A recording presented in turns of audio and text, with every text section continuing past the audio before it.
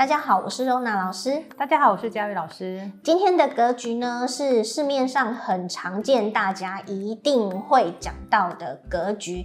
那也是跟我自己很喜欢的贪狼星有关系的格局。那接下来的呃内容，就请佳宇老师来为我们做介绍。好，这个格局的名称叫做行运贪狼，号曰风流彩帐，把我的旗子拿出来。所以就是称为一般我们听到的风流彩帐格。好，那这个其实“风流”这两个字呢，在古时候呢是一个称赞的名称哦。它的意思是说他的风采特异，才华出众。那彩杖呢，最早的意思指的是我们的这个外交官出使外国的时候呢，手上拿的这个手杖，那也表示国家的权力与使节代表国家的身份。那装饰绚丽的这个代表的是国家的权力的手杖呢，来衍生出成为代表刑罚的意思，刑罚司法的意思。所以这个风流彩杖格呢，通常就会被人家引申为因为才华出众、太受欢迎、好色而犯了刑罚。那因色犯刑的意思就是从这边来的。但是呢，事实上，如果呢依照古书上面的这个排列组合的话呢，其实贪狼星要因色犯刑的几率呢，其实蛮高的哦。但每一张盘呢，就会有十二分之一的可能性，所以是不是很不合理呀？嗯，没错。嗯，好，来我们看一下下面的注解。假如贪狼阳刃同环，生命于隐宫，为人聪明，更主风流。若遇闲宫，则平矣。余祥之非也。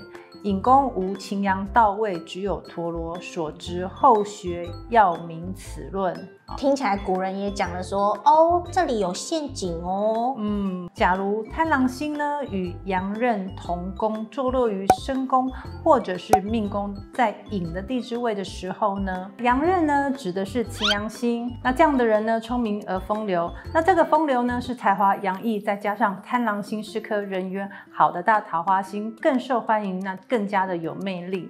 那跟我们现代人所谓的风流好色其实不同的，更妙的是说呢，贪狼跟擎羊呢根本不会同宫在隐的位置上哦。没错，若遇闲宫则平矣。如果呢没有会到擎羊星的话呢，就还不至于会有因风流而因色犯行的状况。余祥之非也，隐宫无擎羊到位，只有陀螺所执后学要明此论。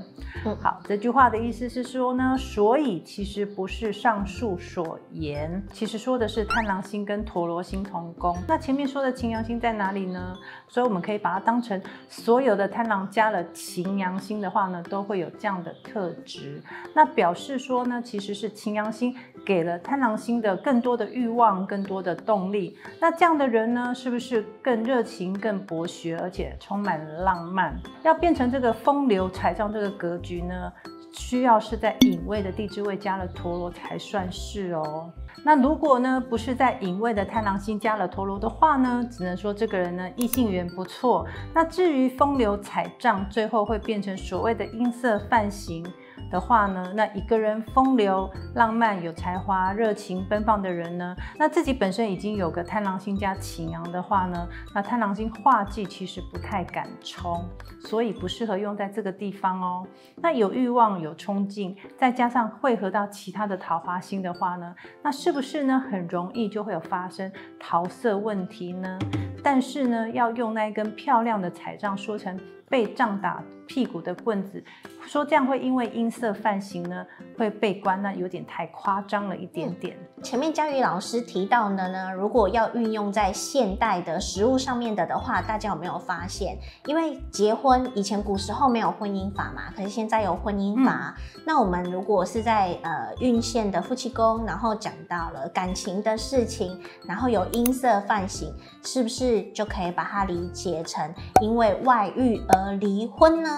其实啊，所有的格局现象都是要套这样子使用。那不一样的时代，不一样的时空，不一样的生活条件，不一样的背景，以及不同的国家，相对于不同的法令，它产生的结果就会不一样哦。大家有没有因为这样子而觉得紫微斗数越来越有趣呢？那喜欢这支格局的影片呢，记得帮我们订阅、按赞、开启小铃铛以及分享。我们下次见喽，拜拜，拜拜。